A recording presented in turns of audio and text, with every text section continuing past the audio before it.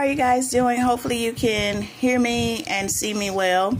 I uh, hope you guys are doing well. Thank you again for tuning in. Thank you so much to everybody who has checked out my videos. Thank you guys so much um, to the people who may have subscribed. Thank you for the new subscribers.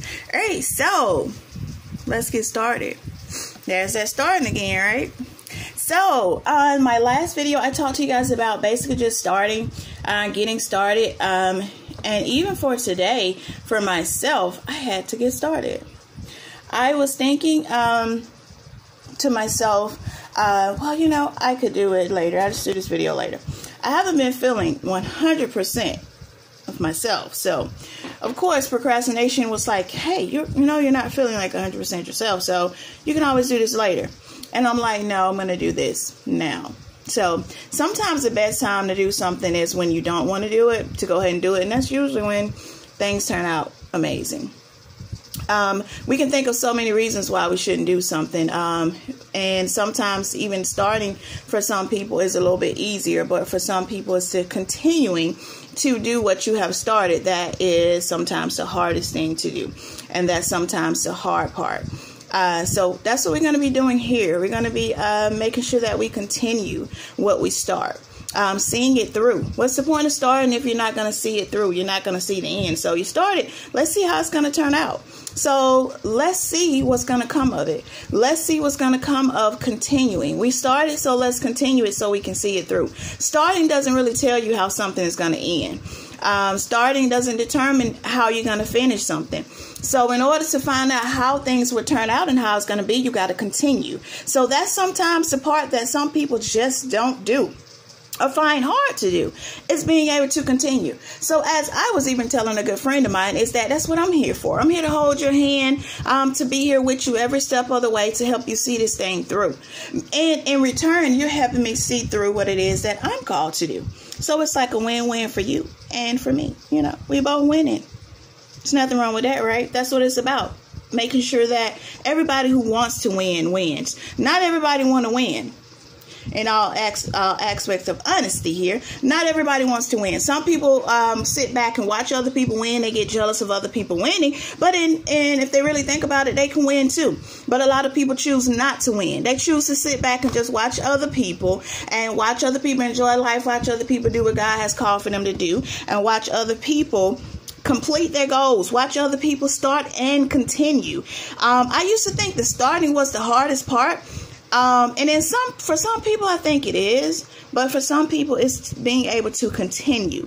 And for some people it's once they've started and they have those things in their hand they have the vision actually in their hand. Your vision is like your baby. They have it. Then they're wondering okay how do i go about presenting this? Like how do i go about marking this? How do i go about my presentation of my baby. You know, it's like um, being so excited at first when you know you find out you're pregnant if you ever been pregnant, and then once the months go on, you're like, ooh. You go from saying, oh, you when people are saying, you're like, oh, you're pregnant, congratulations. You're like, I know. Thank you so much. I'm so excited. I'm so excited. And then it goes from, you know, a couple of months go down the road. They're like, oh, congratulations. Like, yeah, thank you then it goes from that to they're like, congratulations on the baby. When you're about six months, you're like, yeah, thank you. Then it goes, and it goes on, especially if it's in the summertime. So the joy kind of leaves. You know, it's excitement at first, and then sometimes along the way, that excitement leaves because the enemy comes to steal, kill, and destroy. He comes to steal those ideas. He comes to steal your joy. Um, because a lot of people do things when there's excitement in it. A lot of people try their hardest when um, there's excitement in it. Even in relationships, you know, sometimes when you're first in a relationship, it's so great. People give their all, they go all out. It's because they're excited. So that's what I'm here to do to help you keep that excitement. Because when you have that excitement, you continue to keep going. It makes you want to keep pushing. It makes you want want to continue to push out your purpose. It makes you want to continue when you are excited. So I'm here to help you continue. I'm here to help you stay excited. I'm like your hype coach. I'm like your cheerleader on the sideline, motivating you, pushing you, saying, go, go, go, go, go. You got it. You got to push, push, push through. So I'm basically like that hype woman. You know what I mean?